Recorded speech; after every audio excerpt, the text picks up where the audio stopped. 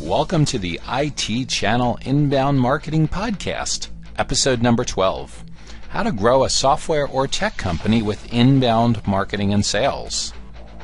I am your host, Joshua Feinberg, and I'm joined today by Carole Mahoney, founder, chief experience officer, chief Smarketing strategist, and analyst at Mahoney Internet Marketing in Portland, Maine.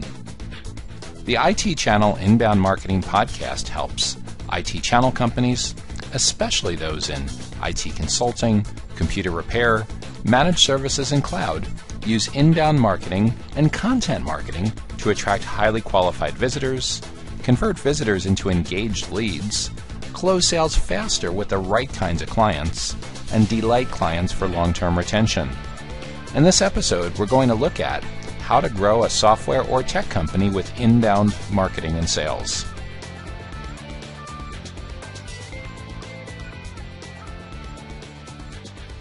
So I am here with Carole Mahoney of Mahoney Internet Marketing in the Portland, Maine area. And we're talking today about how software and tech companies can really reevaluate what they're doing with marketing and look specifically at content marketing and inbound marketing to be able to power their growth. So thanks so much today for joining me, Carole. I really appreciate it.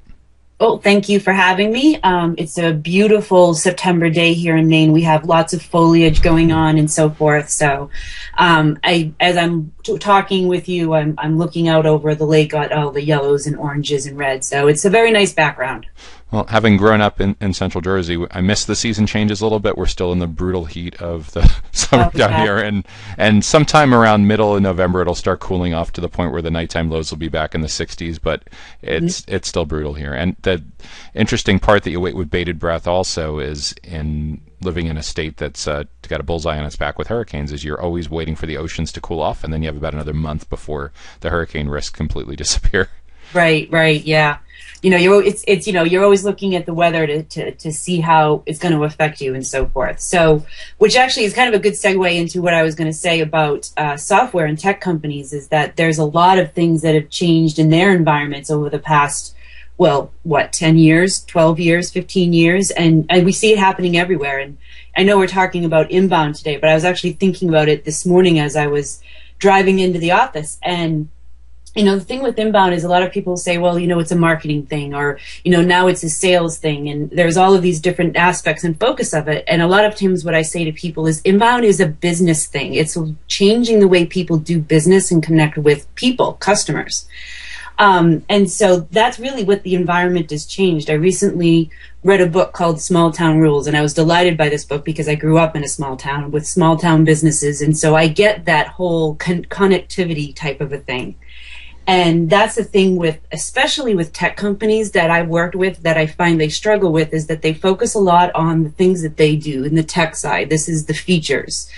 Um, and then the challenges is what I call, you know, getting them to speak plain English or getting someone to speak customer. So you do all of these great things, but what does that mean to their daily workflow, to their daily life and so forth? So I mean, as a definition of inbound, inbound is really a customer thing. It's not a sales thing. It's not a marketing thing. It's really a client customer thing.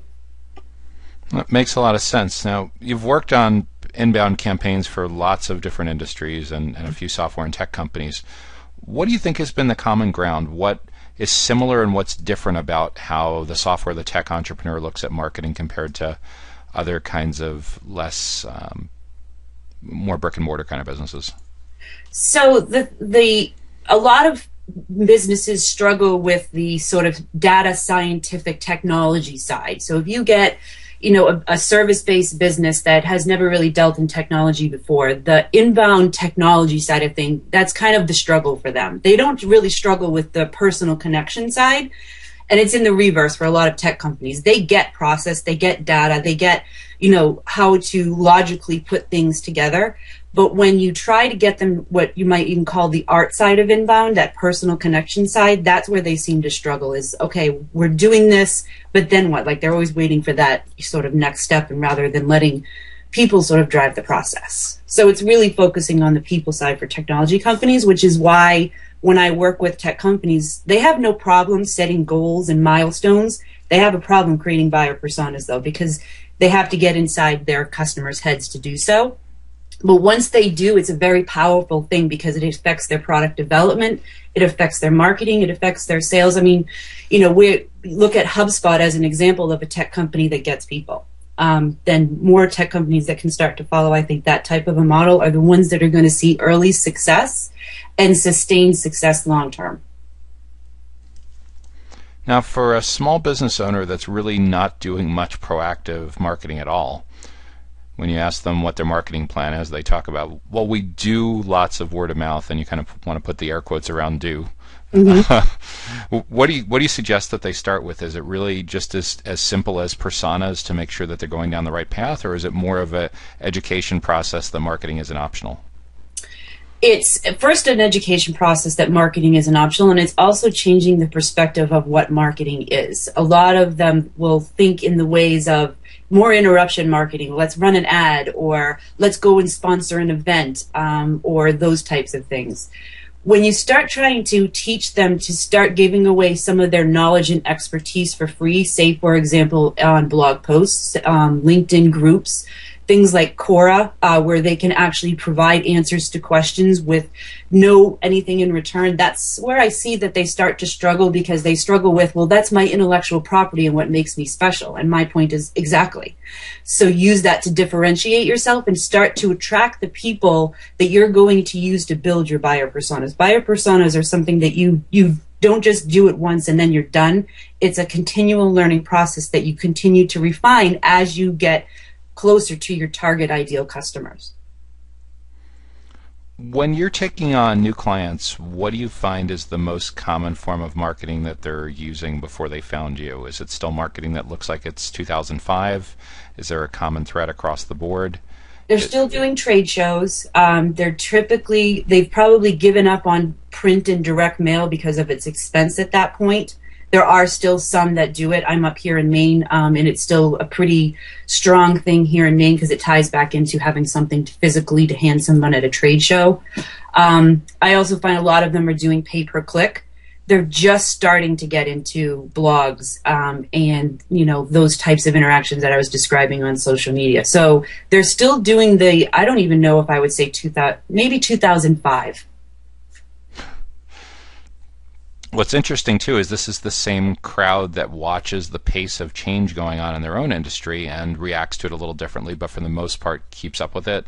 A lot of these same folks are kind of looking and saying, well, I thought cloud computing would be a fad. Well, maybe it isn't, so maybe I should start paying a little more attention to it. Or it seems like clients don't want to have a lot of server in- infrastructure in their office. Maybe we should get into managed services. But when it comes to kind of looking at if marketing and sales are changing, I think what ends up happening is they're spending so much time and resources thinking about what they need to reinvent with the core skills and platforms and stuff like that that they support that if, especially for a small company where there isn't a partner that's necessarily dedicated to business development, mm-hmm. um, they don't necessarily have the, the time or the the wherewithal to think about changing their kind of go to market strategy it's funny you say go to market strategy, and that's a lot of times the terminology that tech companies use. Um, and it's I, I kind of chuckle a little bit because it's you're already in the market. It's you don't go there, they come to you. So I wish we could change that phrase, but I know that it's popular, so I won't argue.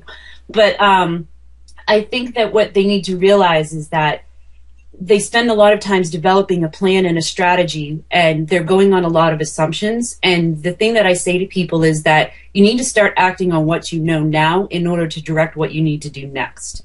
So don't spend any more than 30 days developing a strategy and personas to start acting on because if you spend more than that then you're just getting into the weeds and you don't even really know for sure. Um, i think that the key thing is being able to react quickly and in real time. And if you're spending all of your time, as marketing sometimes does, in an ivory tower without being in the field with salespeople, getting on sales support calls, getting on all of those types of things, you have to have your hand in a little bit of everything. What do you do to manage expectations when you're taking on new clients to make sure that they're really in it for the long haul? Um, know, when they go to a trade show, there's an expectation that they walk out with leads. When they're advertising on pay per click, if it's done right, they're going to start getting clicks within hours or within a couple days. How do you set their expectations differently with the uh, mindset that's necessary to be, to be successful with an, an, inbound campaign? So when I set expectations with a new client, there's um, an adage that I've been saying for a long time is that it really only requires a couple of things to be successful online: time and money. Um, because if you have the time and you're smart enough, you can figure out how to do a lot of this stuff. But if you don't and you need to have the money to do so, um, the reality is it's a combination of both. There's going to be a certain amount of their time required to see the results, and then there's going to be a certain amount of money also required to see those results because if, like you said, they don't have time to do it all themselves, so, so they're going to need to hire extra help. And so when I sit down and do uh, a scope with someone or figuring out what their business goals are, it's not just a numbers of how many dollars do we need to generate but I'm looking at all of their resources. I'm looking at their technology that they have available to save them time, how much time they actually have, like, you know, at least a minimum of five hours a week. Um, and then also, I want to look at if we start developing 100 leads for you next month, how are you going to handle those? Because that's again a time factor. Do you have the time to follow up with those all properly so that we can see those results? It's not just traffic, it's not just leads, it's also sales. Um, so and really what i'm trying to do is to get them to understand that this is going to be work involved this isn't like where you could just pay someone x number of dollars they run an ad and your phone starts ringing and you get sales it's it doesn't work that way so it sounds like to a certain degree you're trying to explain smarketing without bringing that word into the discussion because in, in a company where there's n- at least not a full-time salesperson and at least not a full-time marketing person, which let's face it is very rare below a company without a million or two million in revenue, mm-hmm. um, you have to get them to think of, okay, yeah, I'm wearing that hat a couple hours a week, wearing this hat a couple hours a week, and maybe yeah. it's different people within the company. Um, is is there a way to explain it without bringing that buzzword into into the discussion?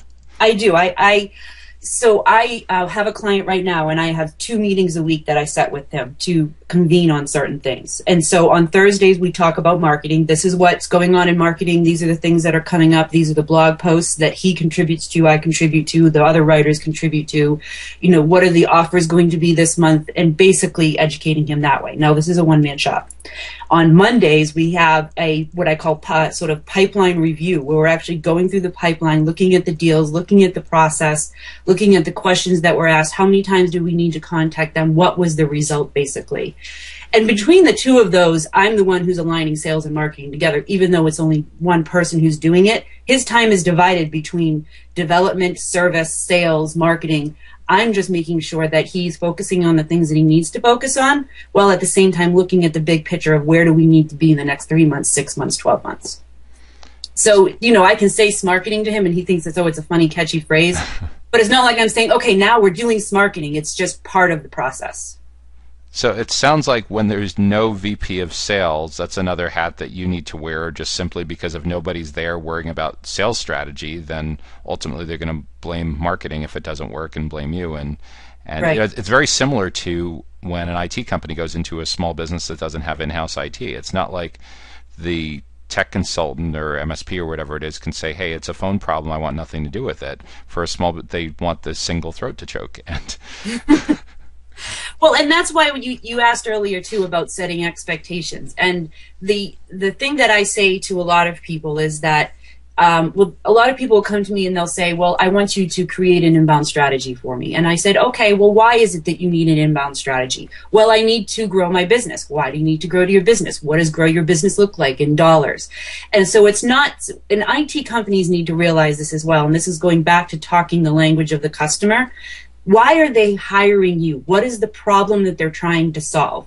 Not the solution, which is the inbound marketing strategy or the IT infrastructure plan, but what is the problem that they're trying to solve? So, example, with an IT company, um, you know, we're losing files that are being updated on our server, and so it's causing a break in our workflow and things aren't getting done on time.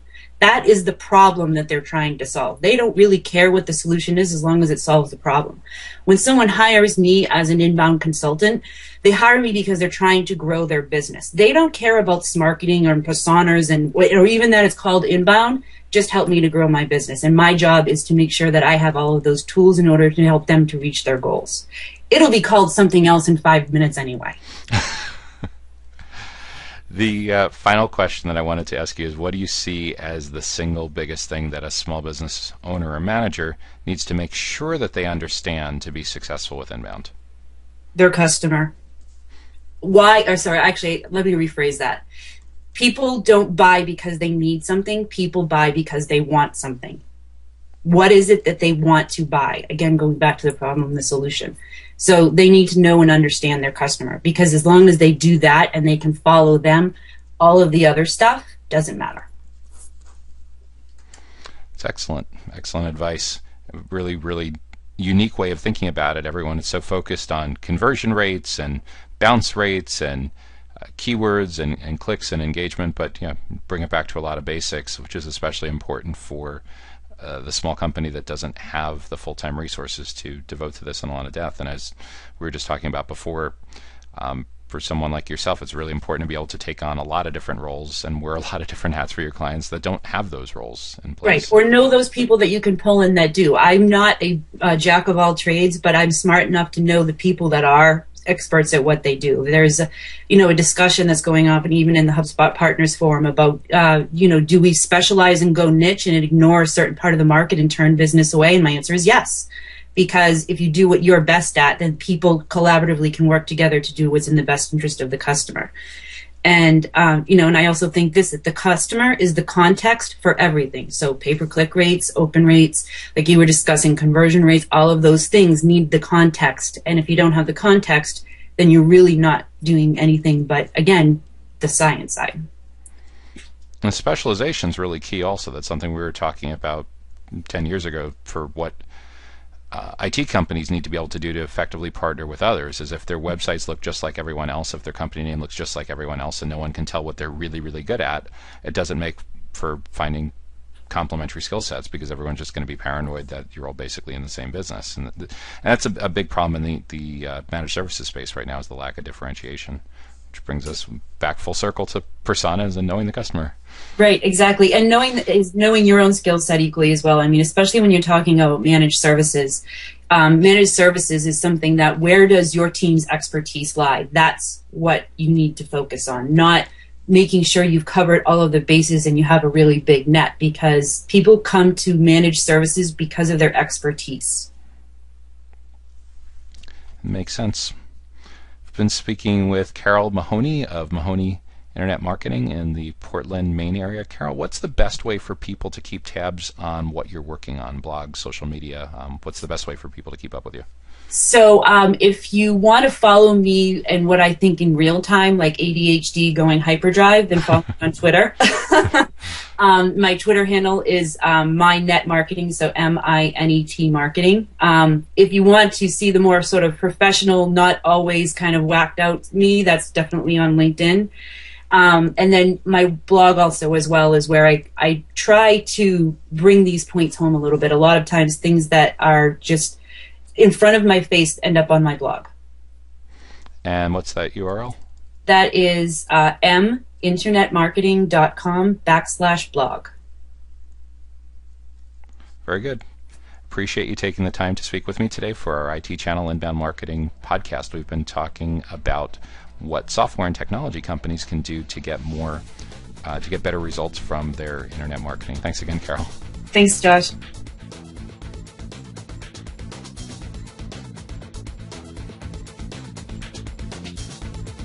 Thank you for listening to this episode of the IT Channel Inbound Marketing Podcast. If you learned something valuable from today's episode, please search for the IT Channel Inbound Marketing Podcast in the iTunes podcast directory and give us a five star rating. To get access to past episodes and be notified about upcoming episodes, be sure to visit www.sphomerun.com forward slash podcast. Thanks for tuning in, and we look forward to seeing you back again next time. Take care now.